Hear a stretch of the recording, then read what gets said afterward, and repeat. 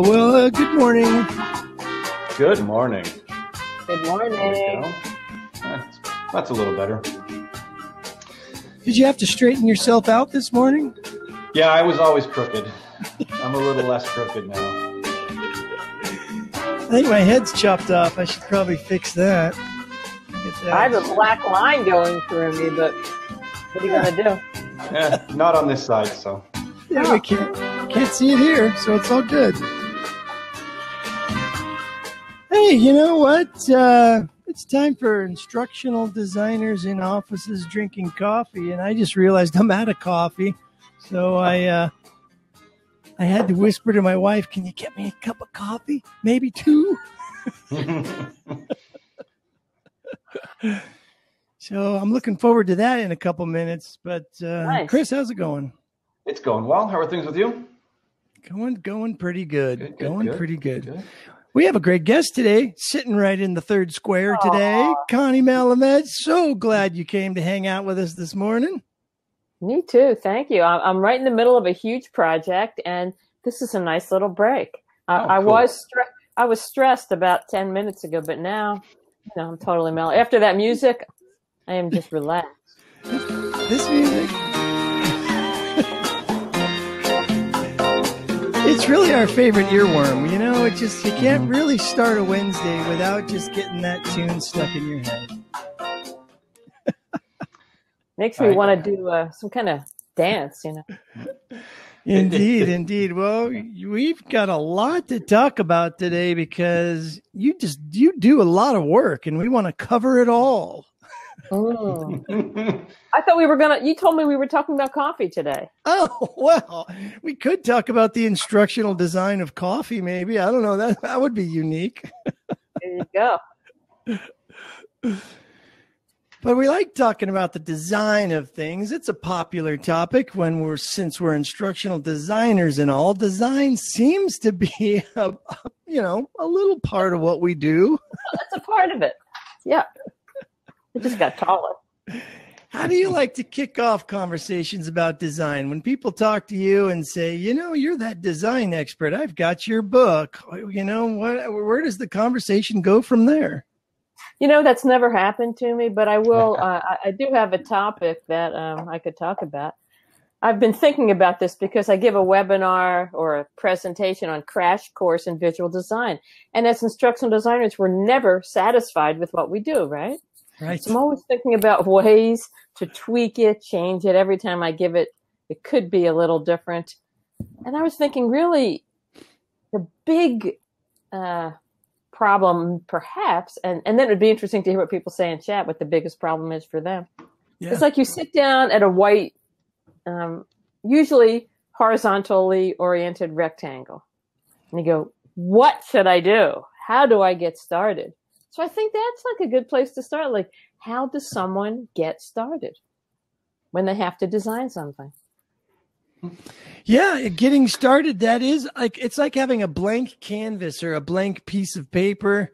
It's like Mhm. you're just kind of sort of looking at it. I always say I like to have boundaries. I function and I'm I feel much more creative when I am given constraints. Well, and, and perhaps you know that that's a fact that when we work within constraints, they say um, that people can be more creative. You can't just be creative and have an entire universe. You have to have some constraints, and that that mean- helps us. You mean there's science behind the way I think? Maybe not. But anyway, the reason I invited you two here today was to see, to get your answer to that big question. How do we get started? Chris, how No, do you get uh, started? You know what? I think for a lot of people, it's you get started by PowerPoint deck from the SME or Yes. some content or something, right? Times, depending on, on your role or your nature, you're told that there's this thing has to be made, something has to be made.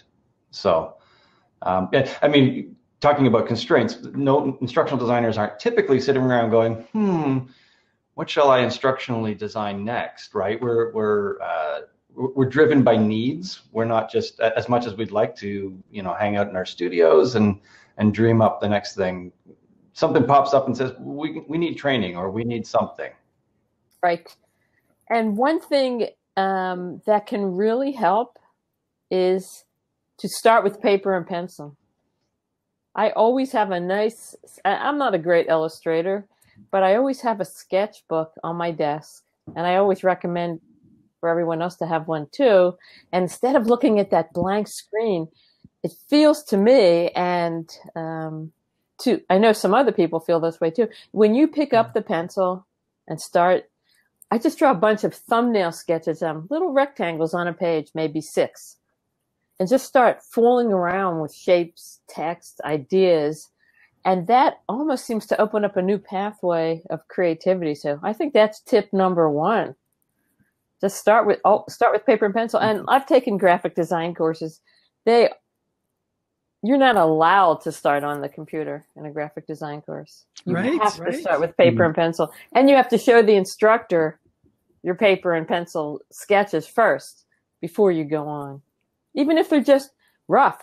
Um, geometric shapes and stick figures. That's all you need.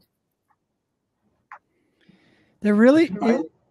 I will sometimes. I will sometimes go to that, I will sometimes go to that thing behind me. the There you go. There and do Yeah. Uh, Yeah, it, There's a, a, there a is a. physicality that sort of gives you a jump start. Uh oh, I'm I'm losing your audio there. You're lagging a little bit, Chris. Okay. How about now? Are we better? Any any luck with this? Yeah. Yeah. Hello. Yeah, it's good. I think you. I think your bandwidth just dropped a little bit there. Sorry. Hmm. I'll have to uh, call the cable company. Tell- I guess. Tell everybody in the office to stop streaming Netflix. There you go. No kidding. So okay, so we start with pen and paper. Um, Then what? It has to be pencil and paper. Oh, But Chris pencil and paper. The pencil is pretty important, but um, Chris pointed out something. It can be on a whiteboard. It can be on a wall. I've heard that there's uh, chalkboard paint. I've never used it, but just something to get that part of your brain working. And uh, one exercise when I teach visual design workshops, like a full day workshop, one of the first things we do is design with shapes. And I always hated those workshops, like in, uh, those assignments in art class, because I didn't understand them but now I understand. If you start with shapes, you can um, lay out, try different layouts and different approaches, and then you plug things in where the shapes are. So it's great to just start with shapes and arrange them on a page and just fool around like that. And then you can substitute text and, and images in with the shapes instead of the shapes or within the shapes. That's, that's one way to approach it. Cheryl agrees.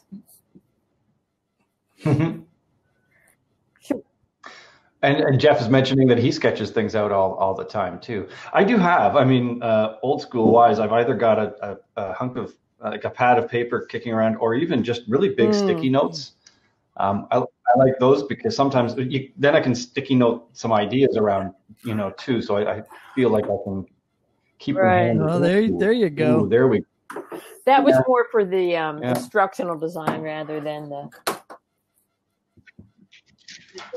Yeah, sometimes I use it though for even for for you know visual shapes and Oh. those kinds of things, and um, or or even so. One of the things that we do in our in our tool is we do have a responsive design uh, uh, authoring option, and I've used just the sticky notes to represent the the block elements and to think about how things are going. You know, you want things to move, Right. etc. Too. So again, again, it's sort of a physical representation rather than going straight to the straight Mhm. to the monitor. Should we see? Um, uh, does anybody want to co- want to comment on how you start? I see two people. One per uh, Jeff does the um, sketching. Cheryl design. Yeah, anybody anybody with us today that has a has another way of starting, um, throw th- throw your thoughts into the chat. We'll keep an eye on it. I'll just scroll back and make sure we haven't missed anything. I don't, Lots of good morning. I don't know. I don't know if Yeah. uh, if if this is part of your um, of what you have planned to tell us about starting. And I don't want to jump the gun, but what about templates? Is that a good place to start? Sure. And no, I don't have a plan. Believe me. Um, but uh, yeah, some of this of what I'm talking about is um, we make these designs and then we put them. You can create that, put them into a template, and then you don't have to re recreate the wheel. That, no, what's that? Reinvent the wheel um, every you know on every slide. So yeah, templates are great, but you have to design the templates. Ken is mentioning, you know, the photography rule of thirds idea Oh, is a good starting place for thinking Mhm. about how to. A big Eric says he's a big fan of moving sticky notes around on a blank wall or a whiteboard. And then the interesting thing about it, when you do eventually save it to a template, a lot of times getting back to shapes is um, if I've found that I'm going to use a shape throughout, and you often do use a shape, you put text in a rectangle, you might use, you know, a, an organic shape that's a little bit off center, not quite geometrical. If you repeat it, not insanely, not an insane amount, but you do do repetition that unifies it all. So that's a really nice way to make it look like it's not a Franken course, like it really was designed by one person. And and if you're working with a team, once you've figured out the basics, you create a style guide so that everyone can use those same shapes, uh, typography, colors, and all that. Ooh, typography. And I think for It's a big one.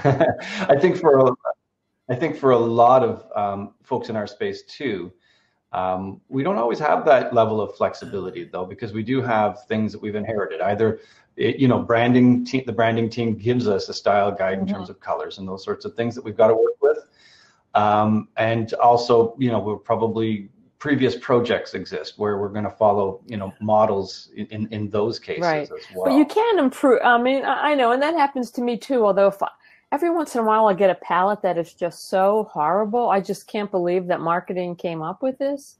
Um, sometimes I'll just kind of tweak the colors just a little bit. You know, like they want it to be uh, this color purple, but if I move it down here a little bit, they won't notice. Don't tell anyone I do this. they won't notice and then it starts and it looks better with the other colors. So I hope none of my clients listen. Or, some, or sometimes maybe even just using the colors, you know, differently. If there's a, I don't know, maybe a color that they've used always in, in a header, but it just doesn't quite work, switching to one of their others as a, part of the palette or, or something like that, being able to, and then of course you may need to explain the why of that uh, to people, which may or may not involve hurting feelings, but uh, uh, but sometimes you have some flexibility within those those things that you've been that you've Right. inherited for sure. Um, you know, that's a whole subject. Marketing versus learning. You know, marketing versus the L and D uh, goals, and and they can be so different. I just feel like you know a lot of people are um, really get bad constraints from the marketing team. Not always, of course. A lot of times there's brilliant people in marketing. But a lot of times they don't understand. We want people to uh, transfer knowledge. We want people to apply what they've learned. We're not trying to just only grab attention, and we're not, you know, sending out. Um, let, we don't care. Branding isn't our our goal. You know, like when they tell you to put a logo on every page, on every slide. That's Mm. that's just an extraneous distraction. As, but they might, but so you might hear things like, but it's so tiny in the corner, instructional designer. Why are you, why are you putting up a fight about this? We, we need to show our logo to everybody that buys our course or blah, blah, blah. And what, what can we say in return to anything like that? I mean, because I know I, I got to be honest, I've had that happen to me, and I just don't fight it. I just make it as small as I possibly can to possibly get away with it, right? And and use it use a little bit of transparency as well, so that it, it also is a little bit faded out. So as long as they can see it, they normally let you get away with it. But if you can make it really small and really transparent, then it's not quite as distracting. But distraction is really the only thing I can think of that we can that's really our ammunition to fight with and sometimes that's just not good enough. I think your strategy is really good. Make it small, partially transparent. I can't really read the logo. Well, it's 50% transparent. Don't worry about it. It's all good. It's there. It's there. It's a watermark. But you know what's funny is a lot of times people want it, it right in internal training, and I know that people know where they work. I'm just so sure of that. Oh, where am I? and then other times, um, I've been given a, a template at a, um, for example, at a conference, and I'll say, "Oh, I'm talking about visual design. I can't use it. I have to use my own slides because you know I think people know what conference they're at too. I always put it on the title slide. That's good. Yeah. Um, so the whole thing is when as people perceive visual information, they're scanning it, right? So anytime you have to scan something and uh, there's extraneous information there, it takes more time to scan it. So that's one thing. It just it just adds time to it. And then the next thing is yes, it is a distraction. Any extraneous visual cue is a distraction. However, here's an interesting debate. What about putting a visual in that's relevant but not necessary because just looking at text is so boring. See, I'm into that, but there's a there's that fine line between it's motivating because it's more pleasant to view, but it's distra- but it, you could say it's distracting. I have a, I have a response, but I'd like to hear what everyone says. Eye candy. Yeah, you know, I'd like to hear that too because I think that is that is something we struggle with on a design basis all the time because a lot, I would say a very very large portion of the e-learning that currently exists out there in the wild is text over here, image over here, click the next button, now it's image over here, text over here, just for a little variety, right?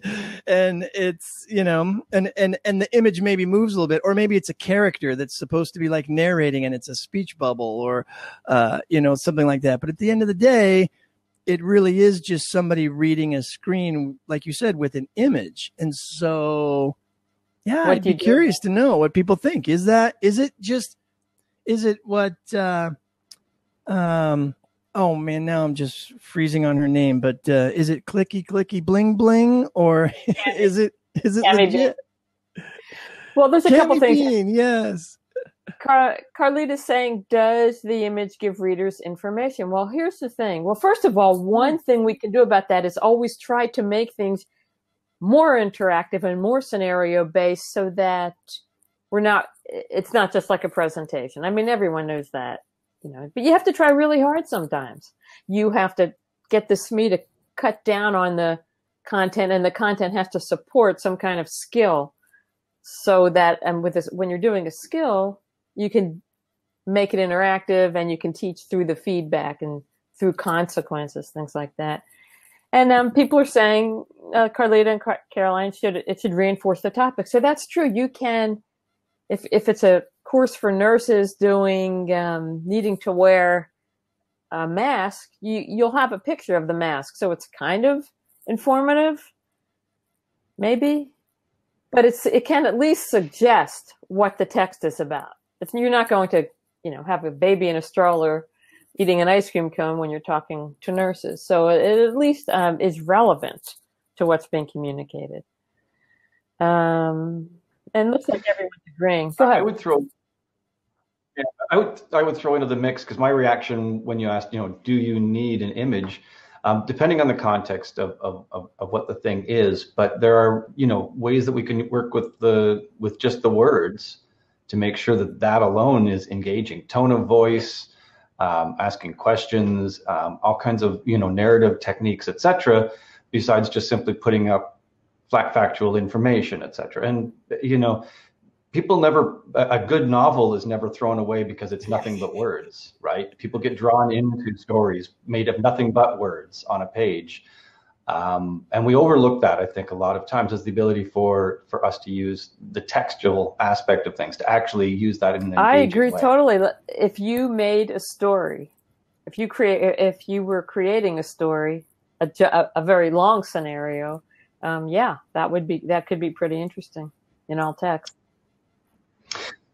and, and, and, not even having to push everything into a story or, or a narrative, but just using things like warmth in the tone of voice, friendliness, engagement, uh, maybe a, a, dash of humor or what have you, um, just to make it um, something that people connect to in, in a more right. It personal looks way. like people agree with you there. Mm-hmm. And better. finally, people are agreeing with us. Eh, Could we actually call that the design of writing or writing design? Nobody ever really refers to it to writing as a design medium, but Mm. it kind of sounds like we're tossing it into the mix when we're talking about design. It is. It really is a, a, an aspect of it. I have a little free ebook on my site, um, writing for instructional design, and I that's a whole that's a whole big topic.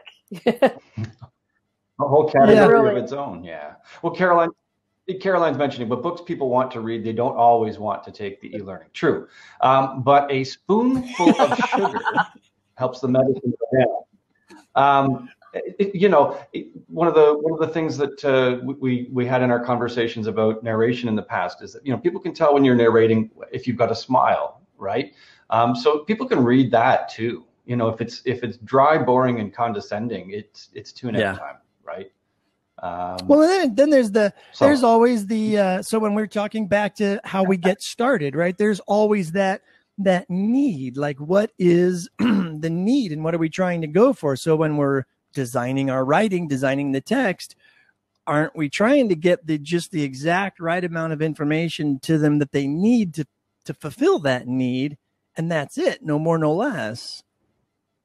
But we're also talking about well, we do want maybe a little bit more so that they can be engaged, and so if it's something that's going to take longer than them just scanning a little job aid, maybe we do want to engage them with. Um, and I wanted to make sure we talked about this a little bit, a character set or something like that. I know we, you know, we talked about shapes and things like that, but what about the design of the the the human face and having a, you know, character sets seem to be really popular. I know a lot of the the the graphic design packet vendors sell a whole darn lot of those things. right. Uh, and so I'm curious from a design perspective, is that kind of approach superfluous or is it valuable? I if you can work it into a scenario, a story, I think I think it's very valuable. Um, I've gotten good feedback about that. They're called. Um, there is some research on you know having an agent or a person Mm, yeah. present things, and it's supposed to kind of be better. Um, Yeah, I've read some stuff about co-learners that they, you know, rather than a character who's the, the instructor, but a co-learner character who's also learning as you go. And then the co-learner can offer, you know, reflections on what they're observing, et cetera. And that's actually, there's some science behind Mhm. that, guess. And so. there are a lot of themes you can use, like master, apprentice. You know, so and so's new at the job. Then she made this horrible mistake, but she learned. You know, the master came and told her, the expert, rather. From from Ken saying, Ken saying a dash of humor. Hmm, I know it's good for live presentations, but I've never seen humor in e-learning. yeah. Well, that's a problem. That's a hey, I just problem. did one. I almost never have the opportunity to use humor um, because the topics are always so serious that I work with. But I finally was able to do one and GoAnimate. Um, that was Ken. Uh, and I made it into a soap opera. You know, I used to GoAnimate characters and made some of my own objects and um, turned it into a soap opera. So there's a little bit of um, extra drama in it. And, and I used professional narrators who were just like so much better than, you know, the person in the office. And um, yeah, I mean, I was pretty, I was like very excited to get to use humor. There's a whole thing about how humor can help learning. In fact, I, I interviewed a guy on my podcast who, uh, a professor who teaches a humor course. And he says how much it helps people learn in his research. So check that out. Oh, airlines have been using humor. yes, of course. Don't you watch those? If if it's a regular boring one, you just kind of zone out. But if it's a funny one, you watch it. Right. Well, like I think that falls under that category of of neuroscience stuff where we don't pay attention to things we recognize or things that we understand or things that are boring. Are uh, you know, they always refer to it as it's our lizard brain, right? We always, we just naturally have a tendency to look at things that are different or odd or out of the ordinary because our tiny little ancient old part of our brain is is thinking, is it going to eat me? Can I eat it or can I mate with it? Chris is wondering about that. And that may lead us to why maybe there isn't a lot of humor in e-learning because sometimes the legal department doesn't like it. That too. And so often the top, so often the topics that I work with are so um, just so serious. Yeah. You know, if, if you use humor, it would be uh, inappropriate. And somebody anyway. somewhere, everybody has a different, uh, you know, yeah, tolerance. take on humor and tolerance for certain types of humor. So it's it's hard to find that uh, that that balance of funny. Jonathan says humor just oozes out of him. Even that was funny, Jonathan. But you know, one thing I wanted to say about um, writing and graphics, something that ties it all together are is uh, if I have uh, quite a few statistics to present and I have to present them. There's no way around it because they're trying to convince people of something. So they, they want to show how bad this is, how bad this is. Um, you can make a nice, you can combine the two and make a nice information graphic out of it. Even if it's not a graph or a diagram, even if it's just the, um, the little icon people, you know, to show each one is equal to 10 and you just say one out of 10 does this. And sometimes I'll just make a, um, an arrangement of those little statistics combining graphics and words. And that I think will attract attention and have people read it more than uh, a bulleted list. So that's a whole other topic. Yeah, there's so many different directions we can go in this, but it just it just struck me um, color we're talking about graphic design and stuff like that. I know there's a lot of science behind choices of color, and we talked a little bit about this. And you mentioned changing a shade because it was just wasn't working or whatever.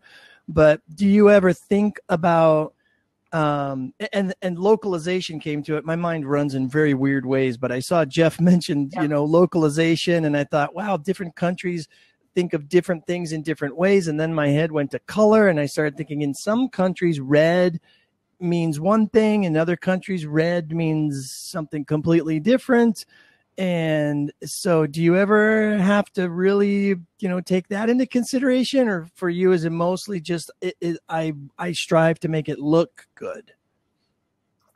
Well i mean there are certain uh, the color the whole design has to depend on the subject the audience you know your goals and all of that. So if you wanted to make let's say you wanted to try to convince people of something and um, you wanted to create tension. You were purposefully creating tension. Then you might put things on angles and make things a little bit um, uneven, and you might use uh, colors that would that would um, make people more tense, um, or or a combination that would do that, um, but not for too long because it would you know freak people out but so often I'm just using more of a neutral, you know, light blues and, and then bright, a bright color to attract attention. Um, so culturally, I don't think that it's going to affect people in any way. But what I have learned about working in multiple, for multiple cultures is that gestures uh, really have different meanings. And I can no longer use several gestures because, um, I've insulted people with them and I had to ch- change the gesture. That's how you learn. Yeah. Can, could you share an example with us? Yes, the um, a thumbs up and a thumbs down is a no no. I never use it. Okay. And now, is this um, something that's communicated in those uh, clip art kits that people buy? Because you might find somebody doing something like that, and there's no warning on the label that says, "Hey, if you're going to be sending this e-learning to this country, you might not want to use this." I have not seen those um, those disclaimers. No. Hey, maybe we should talk to the eLearning Brothers, Chris, and tell them that there there should be warning labels for us on some of those gestures. Uh, at least a, a table of, of which ones to yeah, use. you know, hey, nothing else, or- that's hugely helpful. Uh, maybe they've already thought of that, and we just haven't seen it. But um, Would be helpful. yeah, that might that might make for some an interesting blog post. Mm, you'd think emojis would tend to normalize those. The problem is when you, uh, that's an interesting idea. Um, I wonder if they're using different emojis in different countries. Um, I don't think there's that many gestures. I don't think it's something that we have to like freak out about. I think maybe there are like four, maybe, or five that I've come across. And the problem with the, um, with writing a blog post about it, which I think would be really fascinating, um, if you want to get into the details of what it means, then your blog post would have to would be explicit. So you'd have to Oh. find ways to speak about it all that um, Without getting was- banned, with a G with a G rating. Yes. good point. I'll sip to that. what about AI in design? Where will AI play a role in future e-learning design? I'm going to uh, lean back and let you answer that, Darren. I I don't know where AI is going to take anything.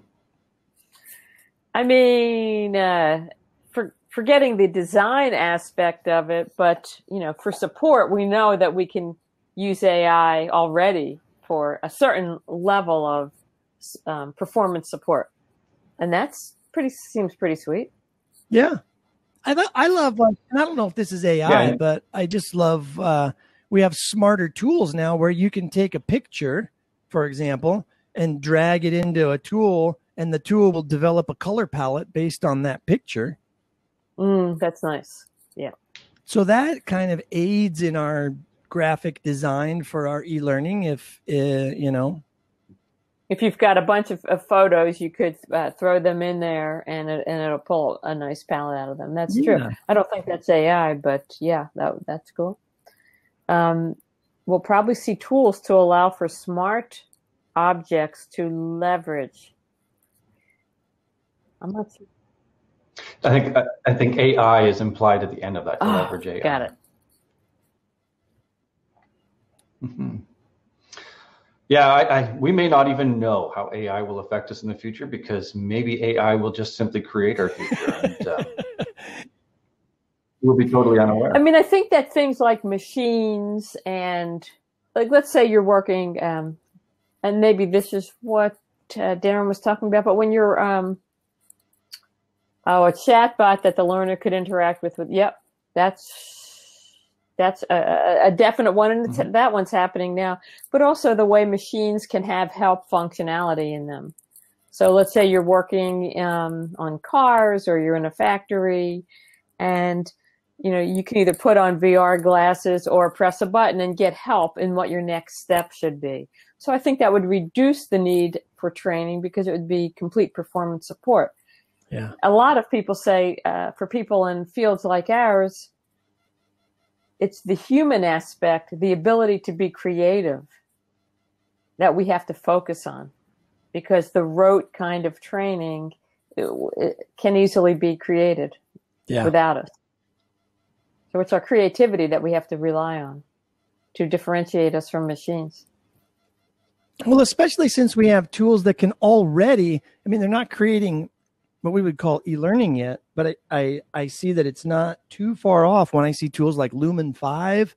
Have you have you seen that? You can you can drop in uh, uh, a novel of text if you want. I, maybe there's a maximum, but you could you know put a whole you know eight or ten paragraphs of some very you know a well written spec of some sort and it creates a video for you and it matches images it finds all of the themes and the the best topics it'll grab an image from its library put a slide up there it'll take the key points build some text put some text on that it'll add a music bed and then it will and it will have the transitions and everything and it, it obviously it doesn't get it um it doesn't get it 100% Right. right, but it gets you like 80% of the way there. And with a little bit of editing, boom, you've got yourself a video. And I remember the first time I saw that particular tool, I thought, we are not too far from somebody figuring out how to take that next leap to taking that that whole all those paragraphs of text and spitting out a multiple choice test automatically and uh, you know everything else that we do. So yeah that's true. And somebody was saying well who's going to train the computers? And that's true. You need people to um, you need experts in fields to know how to tell the computer what to do so yep that's that's another potential job um, a, a, potential way that our uh, knowledge and competencies can be used.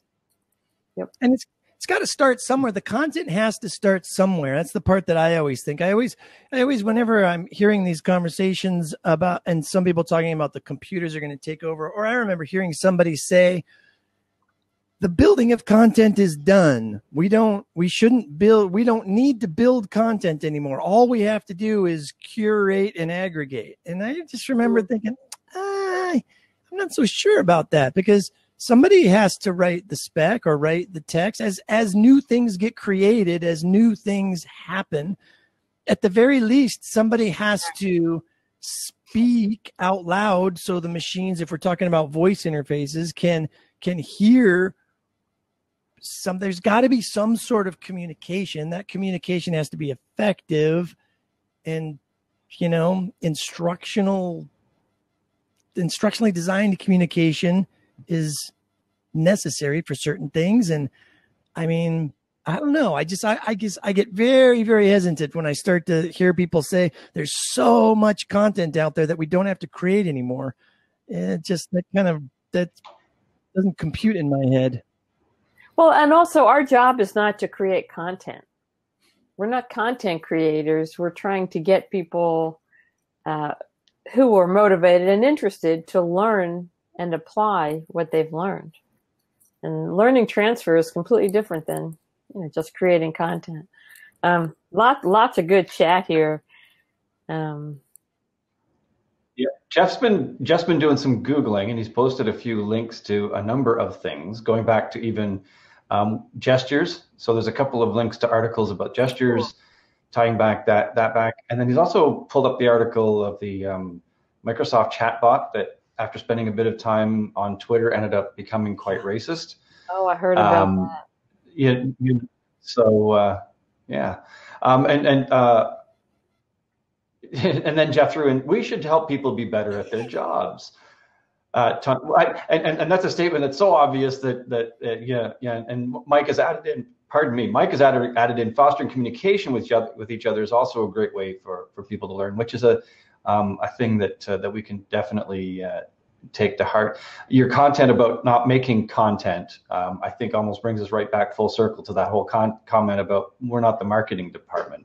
Um, you know marketing needs content um, people, on the other hand, to do their jobs, they they need specific help and they need uh, you know often very focused help. And uh, part of our an important part of what we do has to be making sure that we're getting them the help mm-hmm. that they need, and not not just content. Right. And um, another thing that we often forget because we think in terms of doing everything quickly, it can take years to learn something well, years and years. And mm-hmm. we don't, we often forget that because, you know, there's a problem and the problem needs to be fixed. But for someone to get really good at something, they have to practice it for for a long time.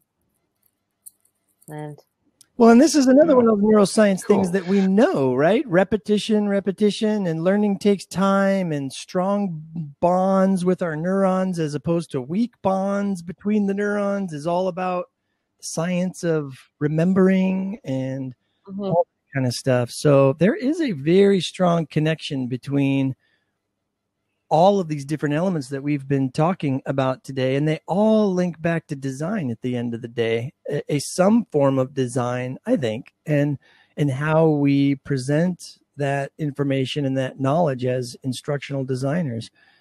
Um, you know, are, are there any other resources that you'd like to share with us today, Connie? Connie, what's your website? You mentioned the book on text, for example, and I know that your website you have lots of other um, things that can help people as well. You're so best best ways to yeah.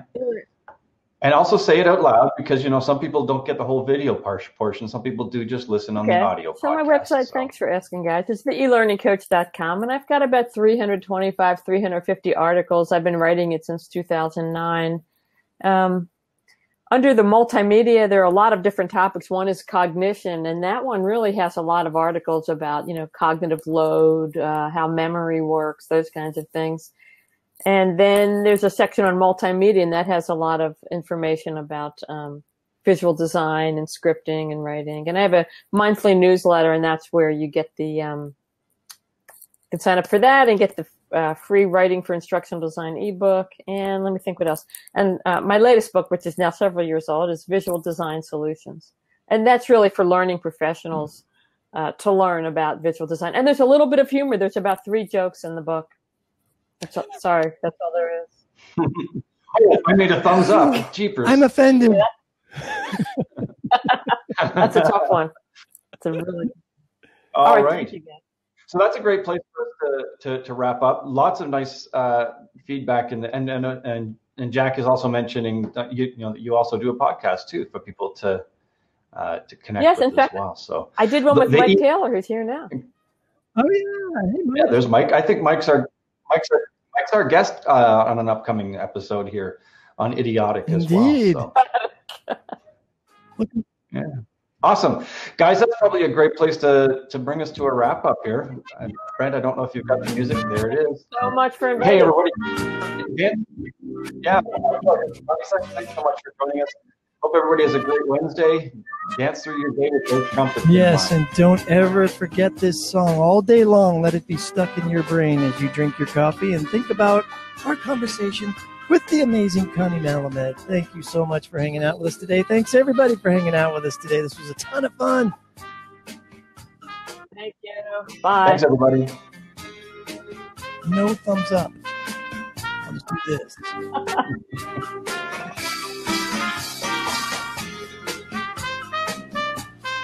See ya.